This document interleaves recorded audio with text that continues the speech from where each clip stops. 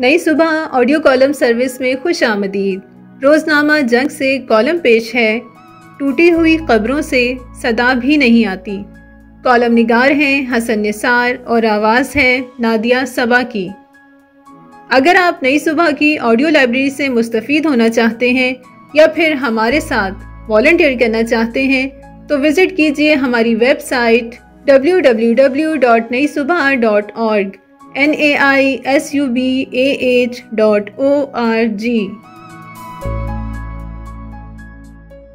सख्त जान, बल्कि ढीठ आदमी हूँ। इसलिए ज़िंदगी से उकताया तो नहीं कि बच्चे भी अभी रस्ते में हैं, लेकिन ज़िंदगी बेकैफ सी ज़रूर महसूस होने लगी है। और वजह इसकी सिर्फ़ ये है कि दोस्तों के बिछड़ने पर, जिन दोस्तों के कंधों पर सर रख कर रो लिया करता था, वो भी तेज़ी से बिछड़ रहे हैं। शुरू से शुरू करूँ तो आप बेजार हो जाएँगे। सिर्फ़ गुज्तर दो तीन सालों के दुख आपके साथ शेयर करूँगा। कि ना करूँ तो शायद ब्रेन हैमरेज हो जाए। कि बोझ मेरी औकात बेसात से बढ़ते ही जा रहे हैं। मेरी तारीख़ पैदाइश पाँच जुलाई है। यानी मैं कैंसेरियन हूँ। और दुनिया भर के एक्सपर्ट्स इस बात पर मुतफ़ हैं कि कैंसेरियन लोग बहुत ही हमदर्द जज्बाती, हसास माजी परस्त और मोहब्बत करने वाले होते हैं। और मेरी अपनी ज़िंदगी भी स्कूल, कॉलेज, यूनिवर्सिटी के दोस्तों के गिर्द ही घूमती रही। यही वजह है कि अमली ज़िंदगी शुरू करने के बाद मैंने बहुत ही कम दोस्त बनाए, कि ज़माने तालब इलमी से ही हाउसफुल जैसी कैफियत थी और है। मेरा बस चले तो जुलाई के महीने में बच्चों की पैदाइश पर ही पाबंदी लगा दूँ, कि दुनिया ऐसे लोगों के लिए बनी ही नहीं। मोहब्बत यक तरफा नहीं होती। मतलब ये कि मुझे खुशकिस्मती से ऐसे दोस्त मिले, जिन्होंने मुझे इतनी मोहब्बत दी कि शायद मैं भी उन्हें ना दे सका। स्कूल और कॉलेज के सफदर सईद, खलील अफजल एयाज ओलंपियन, अरशद चौधरी, महमूद खान से लेकर सबक सदर पंजाब यूनिवर्सिटी स्टूडेंट यूनियन और आज के आला तरीन अंग्रेज़ी कॉलम निगार।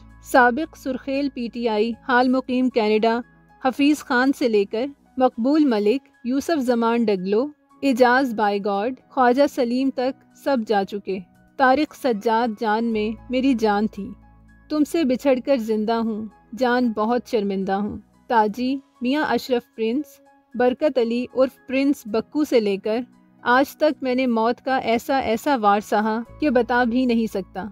सिर्फ़ एक मिसाल से शायद आप मेरी रिश्तों की शिद्दत समझ सकें।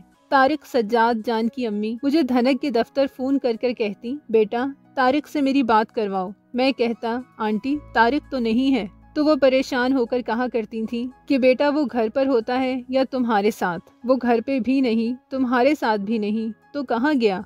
इससे रिश्तों की शिद्दतों का अंदाज़ा लगाएँ। मैं आज भी जब सीमी भाई, वसीम सज्जाद जान को देखता हूँ, हफ्तों के लिए शांत हो जाता हूँ। इन सब की तस्वीरें बेलीपुर की हांसी हवेली में अवेजा हैं।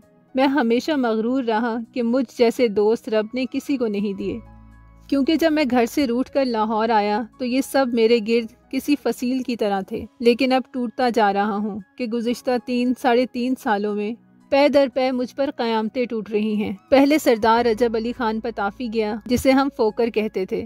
फिर मसूद दाढ़ो रुखसत हुआ, जिसके घर जहीरुद्दीन बाबर का बेटा, हुमायूं जिला वतन होते हुए कुछ अमानतें छोड़ गया था। और जब वापसी पर उसके बुज़ुर्गों ने ये सब कुछ बादशाह नसीरुद्दीन हुमायूं को ये सब बाहिफाजत लौटाना चाहा तो उसने इनकी शराफत व नजाबत व मेहमान नवाजी को देखते हुए वो सब कुछ उन्हें अतिया कर दिया। उस जमाने के हसीन न्यू कैंपस का हर शख्स गवाही देगा कि सैयद मसूद अब्बास, हमारे मसूद दाड़ो जैसा न कोई खुश शक्ल था, न खुश आवाज़। उसके फेवरेट तरीन गीत, तुम भुलाए न गए, हाय भुलाए न गए, और तेरे सदक़े बलम, न कर कोई गम। ये समा, ये जहाँ, फिर कहाँ? मुझसे भुलाए नहीं जाते।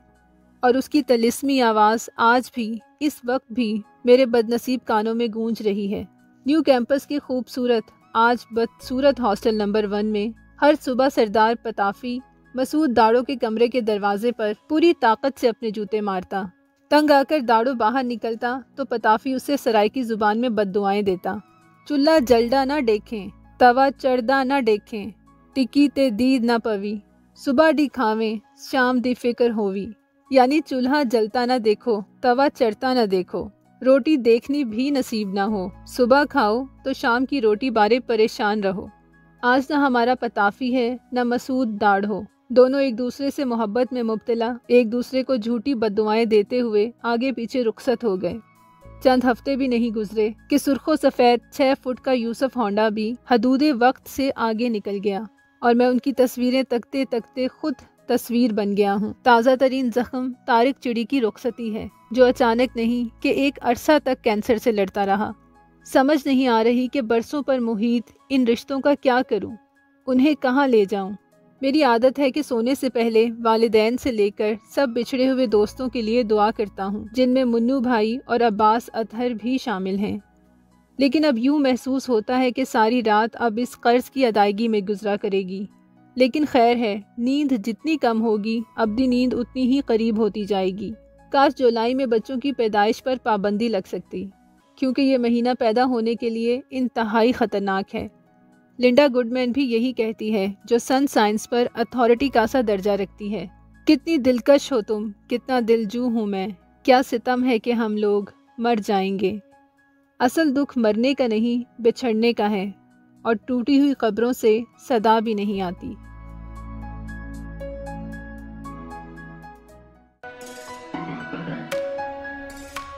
ये मालूमती मवाद नई सुबह की जानब से पेश किया गया। अपनी आरा के इजहार के लिए कमेंट कीजिए या डिस्क्रिप्शन में दिए गए रबते के ज़राए इस्तेमाल कीजिए।